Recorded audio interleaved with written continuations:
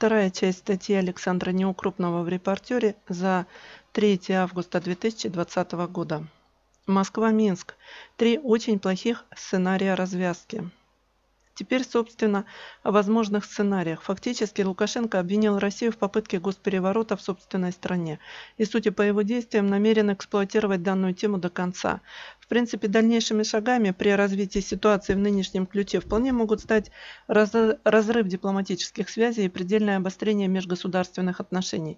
Но Александру Григорьевичу, скорее всего, нужно не это. Итак, сценарий первый от батьки.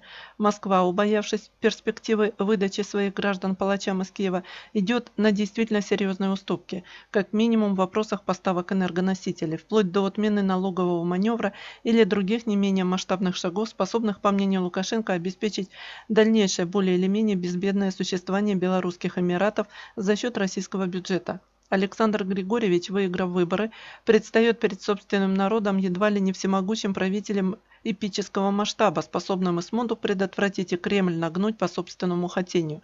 Каковы перспективы для России? Цензурно тут вы выразиться крайне сложно. Во всяком случае, о каком-либо международном авторитете и весе страны, позволяющей захватывать своих граждан в заложники и безропотно выполняющей выставляемые при этом требования, говорить не приходится. Сценарий второй, половинчатый. Лукашенко использует нынешнюю ситуацию для дальнейшего нагнетания атмосферы в стране, введения, если не чрезвычайного положения на время выборов или какой-то период после их проведения, то чего-то очень на него похожего, под предлогом возможных массовых беспорядков, которые непременно будут устроены засланными казачками. Если не закрутить гайки, до предела ограничивается свобода собраний, перемещений граждан и все остальные свободы, еще номинально имеющиеся в Беларуси.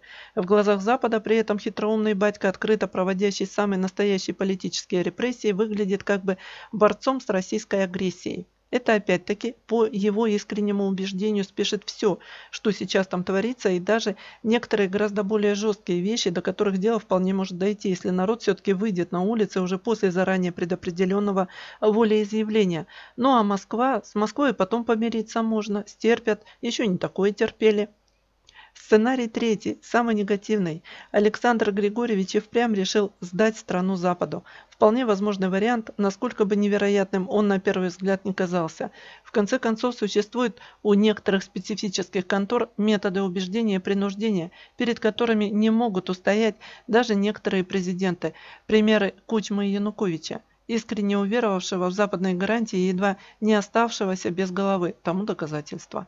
Опять-таки, имея перед собой выбор между неминуемым Майданом с абсолютно непредсказуемыми последствиями и цивилизованной передачей власти назначенному Западом преемнику, никакому не Тихановскому и не Цепкало, конечно, а хотя бы тому же Макею, Лукашенко может и поплыть. И, по, и почему бы наиглавнейшим условием для такой сделки не быть полнейшему разрыву отношений с Россией, более того, созданию ситуации, после которой примирение между Москвой и Минской – Минском, извините, вне зависимости от фамилий тамошних лидеров, станет делом крайне проблематичным. Вот в таком формате можно ожидать чего угодно, вплоть до выдачи арестованных россиян или какой-то их части Украине. Надо сказать, третий сценарий сегодня практически никем не рассматривается и не принимается в расчет. А зря.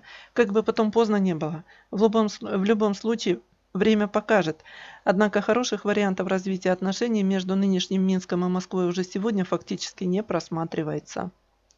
Это была вторая часть статьи Александра Неукропного «Москва-Минск. Три очень плохих сценария развязки».